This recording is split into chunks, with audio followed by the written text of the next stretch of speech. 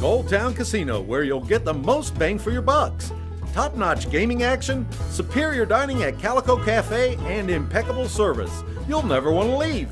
With surprises in store every day, why go anywhere else? All here at the Gold Town Casino.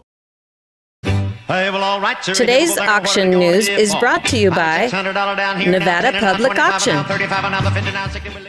Right now in this room, you see a bunch of antiques, uh, some early Americana stuff, old lanterns, railroad lanterns, and then we've also got some modern day collectibles like Limoges, Baccarat, crystal glass.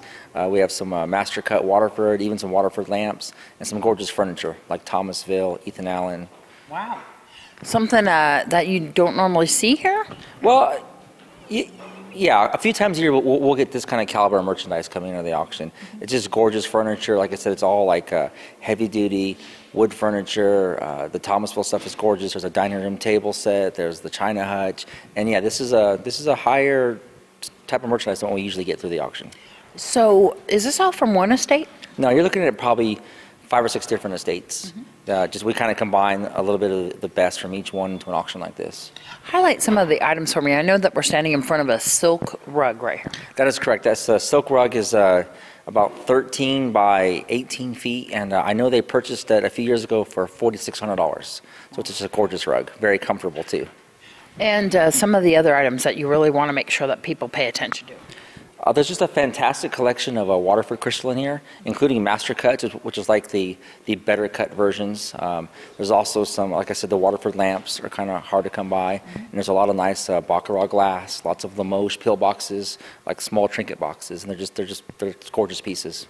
And so people can preview these online at nevadapublicauction.com, but they can also come and see them in person. Actually, the website's different. They- It, it is Nevada Public Auction is the name of the company, but the website is Auction NV, like the abbreviation for Nevada.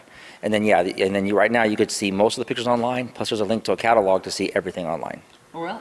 And then as far as bids are concerned, how does that work? Well, right now, because it's an online sale and we do one of those a month, the uh, catalog's been available for a week. So people online all over the world can bid now. And then once the auction goes live, uh, then we start with that bid from online, plus the local bids here in the crowd. And then how does the crowd uh, locally here come and see these um, for preview? Sure. Preview is all day Friday from 9 to 5. And then also before the auction on Saturday, we get here about 9 o'clock in the morning till noon when the auction starts. You can also preview. Is there any other items like vehicles that you will be selling too as well? Yeah, there's no cars in this auction. We do we get those from time to time, but in this in this one, no no vehicles at all. Any other collectibles?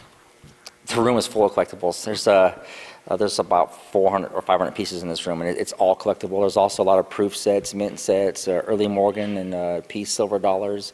Um, the whole room's collectible this time. Today's auction news is brought to you by Nevada Public Auction.